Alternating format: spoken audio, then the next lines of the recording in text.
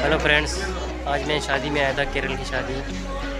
जैसा कि आप देख सकते हैं, यहाँ पे पंडाल लगा हुआ है, सब खाना खा रहे हैं।